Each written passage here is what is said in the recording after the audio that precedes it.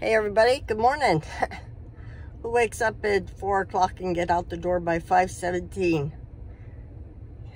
Yeah. I haven't, haven't I haven't gone any got any sleep yet. My nerves are just like you know, I don't like needles for one. I have a scope put down my throat and an enema today. You know, all I had to do is let me drink that shit. I'm not a very good customer today. Say the wrong thing to me and watch what happens. ah, so the girl's upset.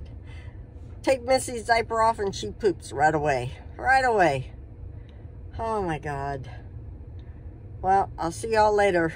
This was just a short good morning to y'all. I'm stressed. I'm really stressed.